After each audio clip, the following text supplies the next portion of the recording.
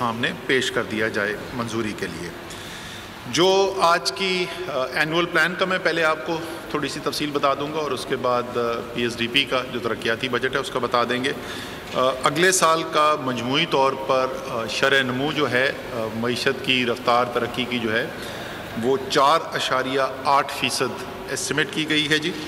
और वो इस साल के तीन अशारिया नौ चार फ़ीसद से बढ़कर चार अशारिया आठ फ़ीसद तक जा रही है।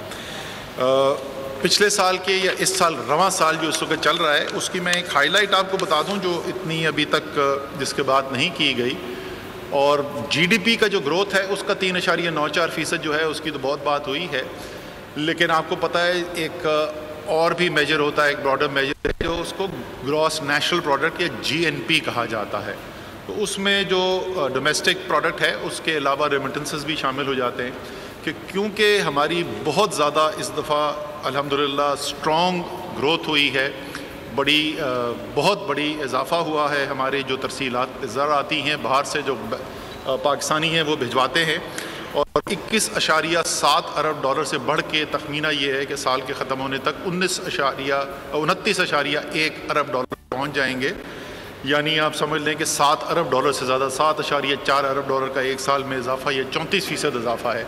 तो उसकी वजह से ये three point nine four percent का जो ग्रोथ था जी डी पी का, और उसमें जब मैं रेमिटेंस ग्रोथ डालता हूँ तो मेरा जी एन पी ग्रोथ जो मेरा जी एन पी ग्रोथ जो है अगली इस साल का, रवा साल का, वो छः अशारिया पाँच फ़ीसद बनता है, जो पिछले 16 साल में सबसे ज़्यादा जीएनपी का ग्रोथ है।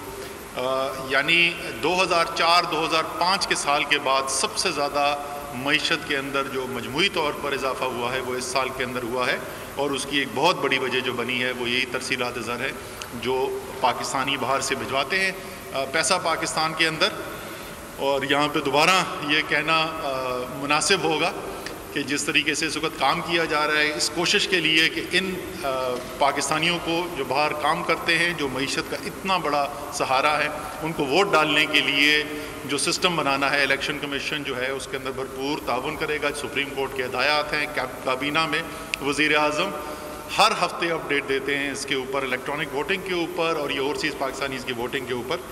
तो ये एक बड़ा अच्छा ये एक रिमाइंडर है या दहानी है कि वो कितना कलीदी किरदार अदा करते हैं पाकिस्तान की माशी तरक्की के लिए। अब अगर हम आ जाएँ इस अगले साल के ऊपर जो चार अशारिया आठ फ़ीसद का इजाफ़ा जिसका अंदाज़ा लगाया गया है और टारगेट है वो अगले साल का तो वो उसके बुनियादी सुतून क्या हैं? किस कहाँ से ये ग्रोथ आ रही है? वो क्या चीज़ें हैं जिनकी वजह से ग्रोथ आ रही है? आ, इसके बावजूद और हमने ये तखमीनों के अंदर ये शामिल है कि इस साल की ग्रोथ जो है उसमें एक हिस्सा ग्रोथ का स्पेशली अगर आप देखें कोई एरियाज़ लार्ज स्केल मैन्युफैक्चरिंग जिस तरीके से है तो वो जो आखिरी सहमाई थी, पिछले साल की, वो कोविड की वजह से उसके अंदर बंदिशें ज़्यादा थी और वो ग्रोथ कम हुई थी तो इस साल उसका बाउंस बैक है और इसीलिए जब इस साल के आप इंडस्ट्रियल ग्रोथ के नंबर्स देखेंगे तो वो आपको ज़रा मॉडरेटेड नज़र आएँगे। तो ये फिर आ कहाँ से रही है ग्रोथ इसके जो छः, सात, आठ बड़े बड़े मोटे मोटे पहलू हैं, मैं उसके ऊपर जाऊँगा। और सबसे बड़ी, सबसे पहले जहाँ से मैं शुरू करता हूँ जी कपास। कपास की फ़सल बुरी तरीके से मुतासर हुई थी। कई सालों से हमें मसाइल आ रहे हैं इसके अंदर, लेकिन इस साल तो बहुत ही बुरी तरीके से मुतासर हुई थी। ख़ास तौर पर सिंध के अंदर खड़ी फ़सल के ऊपर बारिशें हुई और बहुत हमें नुकसान हुआ था। इस साल जो है, वो बेहतर बीज की फरहमी की भी इंतज़ाम किए गए हैं। पेस्टिसाइड के ऊपर बहुत ज़ोर डाला गया है कि अच्छी क्वालिटी के पेस्टिसाइड जो हैं वो फराम किए जाए। और उसके अलावा आलमी मंडी के अंदर भी इस वक्त कपास की कीमत जो है वो बेहतर नज़र आ रही है। और इन तमाम चीज़ों को सामने रखते हुए जो तखमीना लगाया गया है, वो एग्रीकल्चर की तरफ़ से सूबों के साथ मिल के जो नंबर आया है, वो साढ़े दस मिलियन बेल का है अगले साल, जिसके अंदर से चार मिलियन बेल सिंध में और छः मिलियन बेल जो हैं वो पंजाब से होंगी और बाकी दूसरे दोनों सूबों से। इसके अलावा इस साल जो है वो पोल्ट्री, जो लाइफ स्टॉक के अंदर आते हैं लाइफ स्टॉक में भी आपको ग्रोथ थोड़ी नज़र आएगी और उसकी बुनियादी वजह जो है वो पोल्ट्री है। मुर्गी की सनत जो है वो बुरी तरीके से मुतासर हुई थी, ये कोरोना की वजह से जब बंदिशें लगी और शायद हम से बहुत सारे लोगों ने वो वीडियोस भी देखे होंगे कि किस तरीके से वो चूज़ों को जो है वो मार के ट्यूबवेल्स के अंदर फेंका जा रहा था और उसी की वजह से क्योंकि कमी हुई उसके बाद तो आपको कीमतें भी मुर्गी की बढ़ती हुई नज़र आई। तो वो नॉर्मलाइजेशन जो अगले साल होनी है उसकी एक ग्रोथ वहाँ से आएगी। उसके अलावा बिजली की खपत जो है, उसके अंदर इजाफा हम देख रहे हैं छः फ़ीसद का इजाफा है। मेरे ख्याल में इससे भी ज़्यादा भी हो सकता है इन ताला। लेकिन जो इंडस्ट्रियल ग्रोथ पैकेज हमने दिया था इंडस्ट्रियल इंसेंटिव पैकेज हमने दिया था, उसका बहुत ज़बरदस्त रिस्पांस मिला है। और इंडस्ट्रियल कंजम्पशन जो है, हमारी जब से वो पैकेज आया था हमारे शायद दिसंबर के महीने में तो तकरीबन 15 फ़ीसद का इजाफा है सनती कंजम्पशन के अंदर, बिजली के अंदर। तो इसलिए वो हमें अगले साल भी नज़र आ रहा है कि ये आपकी बढ़ती रहेगी, आपकी डिमांड गैस प्रोडक्शन जो है पिछले चंद सालों से प्रेशर में है नए वेल्स ड्रिल किए गए हैं और कोशिश की गई है कि इस ड्रिलिंग एक्टिविटी को दोबारा से एक्टिवेट किया जाए और उसकी वजह से अगले साल यहाँ पर भी हमें ग्रोथ नज़र आ रही है। कोयला जो है, वो पहले से थर में लाखड़ा और थल के अंदर ज़्यादा निकाला जाता है। थर में एक्सपेंशन हुई है और वो मज़ीद एक्सपेंशन के बाद नई जो पावर जनरेशन भी कैपेसिटी वहाँ पे लग रही है, उसके साथ साथ कोयले की प्रोडक्शन जो है, उसके अंदर भी खातर खा इजाफा देखने के लिए नज़र आएगा। फिर एक ऐसी चीज़ जिसको वज़ी अजम ने ख़ुद चैम्पियन किया है और आई एम एफ़ से मराद लेने से लेकर और हफ़्ता वार मॉनिटरिंग करना और फैसले करना कि उसके अंदर तेज़ी लाई जाए कंस्ट्रक्शन क्योंकि जो शहरी मीशत है, उसके अंदर सबसे ज़्यादा जो लोगों को मजदूरी जिसके अंदर मिलती है, वो कंस्ट्रक्शन है और सबसे ज़्यादा इंडस्ट्रीज़ जिससे इफ़ेक्ट होती हैं और एक वजह इंडस्ट्रियल ग्रोथ की जो आपको इस वक्त नज़र आ रही है वह है कंस्ट्रक्शन और उसने अभी पिक करना शुरू किया है। वो सस्टेंड हम देख रहे हैं ग्रोथ अगले साल भी। कंस्ट्रक्शन इंडस्ट्री जो है, वो एक ड्राइवर बनेगा।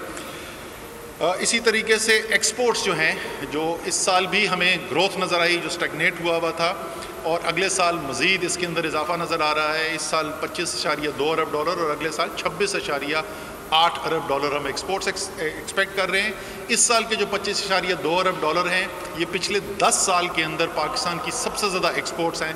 ये भी बड़े अफसोस की बात है कि हमने एक ऐसी चीज़ जो आप सम, समझ सकते हैं कि मीशत की शहरा गए जब तक एक्सपोर्ट ना बढ़े आप तरक्की जो है सस्टेनेबल तरीके से नहीं कर सकते। वो 10 साल से इस जमूद का शिकार, बल्कि बीच में तो नीचे ही चली गई थी। बट इस साल जो है, ये 10 साल में सबसे ज़्यादा एक्सपोर्ट्स इन ताला होंगी।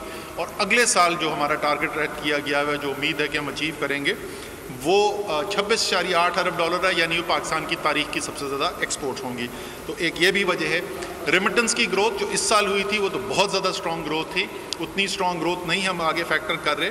लेकिन फिर भी हम एक्सपेक्ट कर रहे हैं कि उनतीस शारिया एक अरब डॉलर से बढ़कर इकतीस अशारिया तीन अरब डॉलर से, तकरीबन दो अरब डॉलर का मजीद इसके अंदर इजाफा देख रहे हैं। स्टेट बैंक वाले बहुत कॉन्फिडेंट हैं कि जो पॉलिसीज़ लाई गई हैं, जो आसानियाँ पैदा की गई हैं उसके बाद इसके अंदर शायद इससे भी ज़्यादा इजाफा हो सकता है, लेकिन फ़िलहाल जो है, अगले साल की तरसीलात ज़र का नंबर जो है वो इकतीस अशारिया तीन अरब डॉलर लिया गया है। फिर एक ख़ास खसूसी सेक्टर जहाँ से बहुत स्ट्रॉन्ग ग्रोथ आ रही है वो है हमारा आईटी का और डिजिटलाइजेशन का एक बहुत बड़ा हदफ है हुकूमत का और उसके लिए बहुत सारे इंसेंटिव भी लिए गए जो हुकूमत ने भी किए हैं और सेंट्रल बैंक ने भी बड़े फैसले किए हैं और की माइलस्टोन्स भी हमने वहाँ पर अचीव किए हैं और उसकी वजह से डिजिटल कॉमर्स जो डोमेस्टिक है, उसके अंदर भी हमें ग्रोथ नज़र आ रही है और इस साल आईटी की जो हमारी एक्सपोर्ट्स हैं, जो एक काफ़ी अरसे से ये भी जमूद का ही तकरीबन शिकार थी या उसमें ग्रोथ वैसी नहीं हो रही थी कि जैसी उम्मीद की जाती थी। इस साल के पहले नौ माह नौ माह के अंदर हमने देखा है छियालीस फ़ीसद जो है वो एक्सपोर्ट्स के अंदर इजाफा है आईटी एक्सपोर्ट्स का। तो अगले साल हमें ये ग्रोथ मोमेंटम भी नज़र आ रहा है।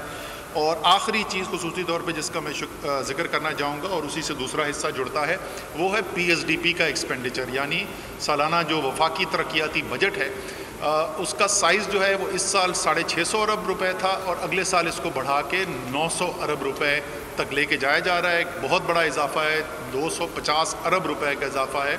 तो ये तकरीबन आप समझ लें कि कोई चालीस फ़ीसद के करीब ही इजाफा है जो हम अगले साल करने जा रहे हैं। जो हमारे इकोनोमेट्रिक मॉडल्स हैं उनकी कैलकुलेशन के मुताबिक सिर्फ़ ये जो जीडीपी का जो पीएसडीपी का हम इजाफा ढाई सौ अरब रुपए का देख रहे हैं ये इसका बरह रास्त असर और इससे जो कॉन्सिक्वेंशियल इम्पैक्ट आता है, क्योंकि जैसे बताती है रिसर्च कि ये क्राउड इन करती है इन्वेस्टमेंट को, इसके अंदर प्राइवेट सेक्टर की भी फिर इन्वेस्टमेंट उसके साथ आती है। तो ये ओवरऑल इकोनॉमिक एक्टिविटी पे इम्पैक्ट सिर्फ़ इस P S D P increase का ही जो है, वो सिफर अशारिया दो पाँच फ़ीसद के करीब लगभग जो है, वो जी डी पी ग्रोथ तो सिर्फ़ यहीं से आ जाएगी। तो ये तमाम चीज़ें देखते हुए चार अशारिया आठ फ़ीसद का नंबर तय किया गया है। मैं ये बता दूँ कि इसके अंदर ज़ाहिर एक अच्छा एस्टिमेट ऐसा होता है कि जिसमें ऊपर भी गुंजाइश हो कि हो सकता है उससे बेहतर भी हो सके और हो सकता है कि उससे ज़रा कम भी हो। आ, मेरे ख्याल में मेरी ज़ाती तजिए के मुताबिक इसमें ऊपर जाने के बढ़ने के इम्कान ज़्यादा हैं। और ये ग्रोथ जो है वो ज़ाहिर है एक ये इस बात की इंदिया दे रहा है कि जो रिवाइवल शुरू हुआ था उसका मोमेंटम बरकरार है बढ़ के बढ़ता जा रहा है और इन ताला उससे अगले साल जो है वो उससे भी ज़्यादा होगा। लेकिन काबिल ज़िक्र बात इस ग्रोथ की ये है कि हम चार अशारिया आठ फ़ीसद या पाँच फ़ीसद के करीब ग्रोथ जो है वो पिछले जो दौर हुकूमत जो है हमने वहाँ पर भी अचीव किया था। लेकिन वो जो पाँच फ़ीसद या उससे ज़रा ज़्यादा ग्रोथ हमने अचीव की थी, वो उसकी हमने कीमत ये अदा की कि आखिरी साल जिसमें वो पाँच अशारिया चार फ़ीसद के करीब हमारी ग्रोथ हुई उस साल में 20 अरब डॉलर का खसारा था हमारा बैरूनी अकाउंट के अंदर। तकरीबन 6 फ़ीसद जीडीपी के बराबर था। और नतीजा ये निकला कि मुझे बड़ी हँसी आ रही थी कि एक तरफ़ तो वो दावा ये किया जाता है कि मीशत जो है उसको बहुत ज़बरदस्त कर दिया गया था। उस दिन टीवी पे एक मुस्लिम लीग नून के लीडर बैठ के मुझे, मुझ पर तनकीद करे थे कि ये फौरी तौर पे आईएमएफ के पास क्यों नहीं, के पास क्यों नहीं चले गए। मैंने कहा, चलो, ये तो माने, मेरी तनकीद के ज़रिए ये तो माने कि इतना बड़ा करके गए थे कि फौरी तौर पर आई जाने की ज़रूरत थी। ये अगले साल का चार अशारिया आठ फ़ीसद, चार अशारिया आठ फ़ीसद का जो जीडीपी ग्रोथ का नंबर आप देख रहे हैं, इसमें हमारे तखमीने के मुताबिक सिफर अशारिया सात बिलियन डॉलर सॉरी फ़ीसद ऑफ़ जीडीपी या दो अशारिया तीन अरब डॉलर का करंट अकाउंट डेफिसिट होगा। इस साल हम एक्सपेक्ट कर रहे हैं कि एक माइनर सरप्लस के साथ करंट अकाउंट के हम साल ख़त्म करेंगे, जो एक दिहाई के बाद ये हो रहा है कि हम करंट अकाउंट सरप्लस रन कर रहे हैं। और अगले साल भी, जैसे मैंने कहा कि सिफर अशारिया सात फ़ीसद, एक फ़ीसद से भी कम, उमूमी तौर पर यह समझा जाता है कि पाकिस्तान की मीशत जैसी है और हमारी जो फाइनेंस करने की